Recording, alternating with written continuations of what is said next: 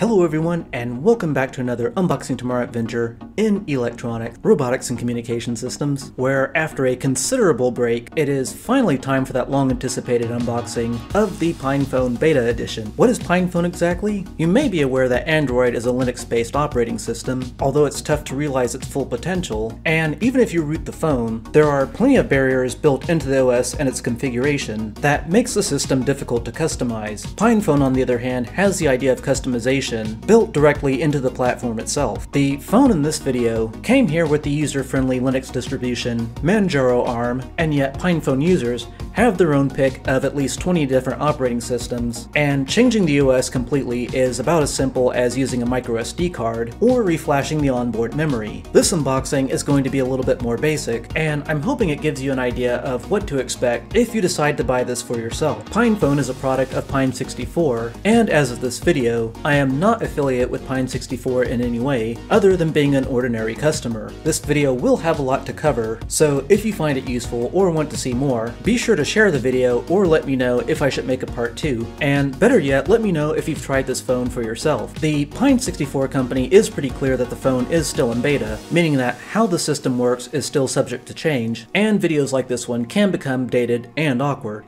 If it helps clarify, this was recorded August 2022, and you can get the written version on the Unboxing Dash Tomorrow website. As for material requirements, you are going to of course need a subscriber identity module or SIM card. However, there is a short list of wireless carriers whose SIM cards are known to not work with the phone, at least not without some kind of modification. That list is maintained on the PinePhone wiki page. Pine64.org is what you might call a information hub for this and other Pine64 products, and Pine64.com is the official storefront. This particular unboxing happened in North America using the AT&T wireless network. Besides the SIM card in the phone itself, I do recommend having an anti-static workstation, something I recommend for pretty much anything electronic, a wireless network that you can access as administrator, in fact this could even be a mobile hotspot from another phone, and a small Phillips screwdriver. The latest PinePhone iteration is in fact geared toward experienced Linux users, so you are probably ready for something like this if you know basic terminal commands, or if you're already a Linux user. The package arrived from Hong Kong, and after you remove the outer layer, you should be able to find basic descriptions of the phone's capabilities, and we can read from the box that this does support wireless 4G waveform. The box itself contains six different items. The phone, the README card, the manual for important information about the battery, and how to remove the back panel, the USB-C cable, a nano SIM to micro SIM card adapter, and because I purchased the convergence package, there's also a docking cradle which has ports for USB, HDMI, and wired Ethernet. Above all, you want to make sure you never discard any type of battery of any chemistry in the ordinary trash. For lithium batteries, this is a fire hazard, so it's best to find some type of professional who can dispose of those for you. The back panel of the phone will have to come off, and because of this, I strongly recommend reading and understanding both the README file and the manual. Better yet, the wiki page has a quick start guide, along with specifications for the phone. On the lower right hand corner, you can check for a notch where you can pry apart the back cover, make sure to not overbend the plastic, and when you have the back cover separated, you can see the battery, the dual card holder, the I.O. pins, and the phone's kill switches. First things first, there's a insulating tape that will insulate the battery from the rest of the phone. This is placed here in order to keep the battery from discharging while it's in shipping, and even if you try to power the phone over USB, it apparently will not power on until that tape is removed. Now, for me, this is where I ran into trouble, because the battery was completely wedged into position, and even when I followed the wiki by removing the four screws, which might work for some people, the battery was still stuck in position, and I could only remove it by using a double-sided tape, and lifting it up out of position with some considerable force. Clearly I don't want to do that every single time, so I took a strip of anti-static tape and wrapped it around the battery so that next time I can simply unpeel part of the tape and pull the battery out of position. Before putting the battery back, it's a good idea to put in the SIM card and the microSD if you plan to use it. Carefully place your own SIM card in the nano SIM adapter taking care to not get fingerprints or oil on the gold contact. There should be a graphic next to the card holder that tells you which card goes on which layer. If you get the order wrong, this can damage the contacts, so be careful that you know what you're doing. The kill switches are included so that users like us or developers can selectively disable or enable different wireless functions, including cellular, Wi-Fi and Bluetooth, the microphone, the front or back cameras, and interestingly enough, the final switch controls the UART, which is wired to the headphone port. By default, this port is in audio mode, and if you want to have a UART port for debugging purposes, the switch is how you get that port activated. In addition to that, there's also an I2C port, and you can find this on the gold-plated contacts, although the power delivery for this port is a little bit unusual, so you should read the manual before you poke around. By the way, if you want to use one of those alternate operating systems, a bootable microSD card is how you do it, but for a basic unboxing like this one, everything I needed was already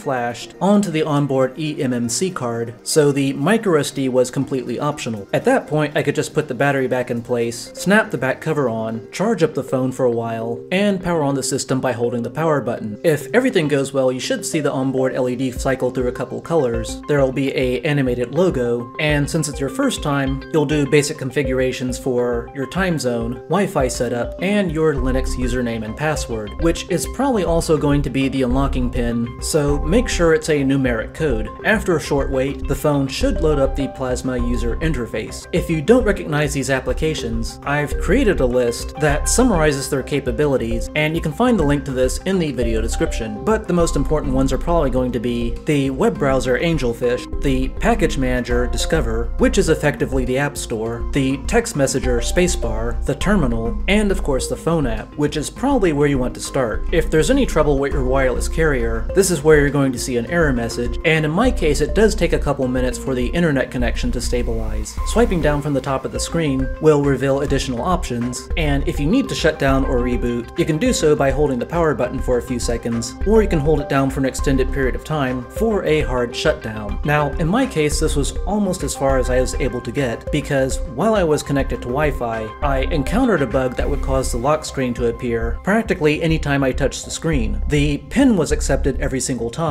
but the screen would lock again, and the only solution that worked for me was to either get out of range of my wireless network or access the phone remotely over Secure Shell. If you see my videos on Raspberry Pi, this is effectively the same technique that I use, and I do recommend having some SSH experience, or you can refer to that Raspberry Pi project because it's pretty much the same procedure. Access a computer that's on the same network as the PinePhone, find out your local IP address that the PinePhone is using, and then use an application like PuTTY or Linux Terminal to log into your PinePhone user account using the password you created earlier. The other rough patch that I ran into is that for the first time that back panel was extremely difficult to remove, so I eventually had to use a screwdriver. This seems to be a hit and miss feature because I've seen other people pry this panel off with very little effort. It is easy to remove now. Going forward, I do plan to cover this again, so be sure to check in often, stay posted for the next one, and as always, have a great day.